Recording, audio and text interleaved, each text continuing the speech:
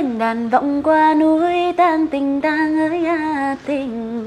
Giữa nghìn trùng mây suối duyên tình ai viết lên lời ca. Sau này nếu có thương em xin hãy chân thành bằng cả con tim. Nếu sau này có thương em đừng để em với những suy tư khi đêm về. Oh, oh, oh, oh, oh, oh. đẹp đạp gió sớm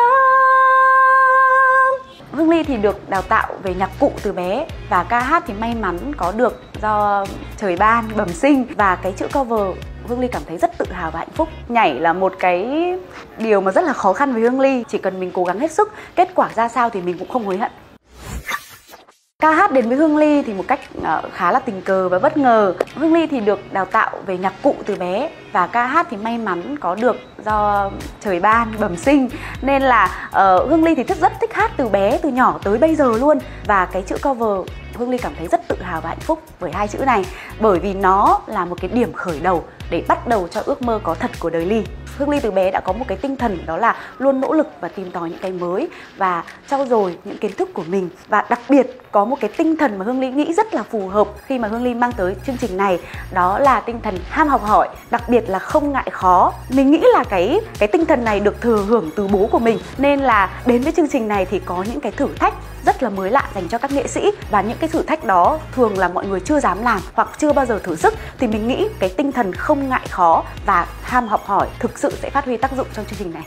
mình không nghĩ tất cả 30 chị em đều có một cái tinh thần chung đó là chơi hết sức, nỗ lực hết mình và không có ai coi nhau là đối thủ trong chương trình này cả. Cũng không có ai nghĩ là sẽ đọ lại ai, chỉ tất cả sẽ có một cái tinh thần là cùng với nhau để nỗ lực hết sức, đoàn kết lại thành một tập thể, một nhóm để tạo ra những cái tiết mục mà bùng nổ và giàu cảm xúc nhất cho khán giả. Hiện tại thì tự tin thì lúc nào Hương Ly cũng có 200% Chỉ có là sự nỗ lực và cống hiến mình biết là rất là khó khăn Nhưng mà mình nghĩ là mình sẽ vượt qua thôi Lúc nào Hương Linh trong đầu khi mà gặp một cái thử thách nào đó cũng sẽ nghĩ là rồi mọi chuyện cũng sẽ qua, Chỉ cần mình cố gắng hết sức, Kết quả ra sao thì mình cũng không hối hận. Thực ra thì đến với cuộc thi này mình nghĩ là ai cũng sẽ nghĩ là mình có thể đi xa nhất có thể, đều rất là muốn như thế. Nhưng mà đã chấp nhận tham gia cuộc chơi thì cuộc chơi nào cũng có luật lệ của nó. Và hương ly nghĩ là quan trọng cái việc tất cả nghệ sĩ chúng ta đều nỗ lực hết sức cho cuộc thi này cống hiến cho khán giả. Những tiết mục biểu diễn xuất sắc và chỉnh chu nhất thì nếu có không may Hương Ly mà có bị dừng sớm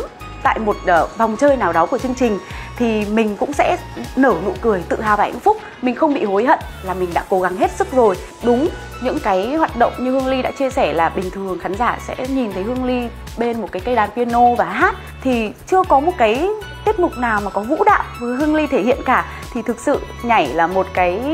điều mà rất là khó khăn với Hương Ly. Việc hoạt động nhóm với Hương Ly thì Hương Ly cũng rất là may mắn khi mà hồi bé mình có học âm nhạc chính quy là về nhạc cụ. Mình nghĩ là trong một nhóm tập thể quan trọng là tất cả cùng đoàn kết biết dung hòa những điểm mạnh, điểm yếu của mỗi người để tất cả những cái lợi thế nhất của từng người được phô ra và những cái yếu thế hơn của từng người sẽ được giấu đi một cách khéo léo để tất cả sẽ tạo nên một uh, tiết mục bùng nổ nhất tới khán giả. Nhớ bấm nút theo dõi kênh nhé.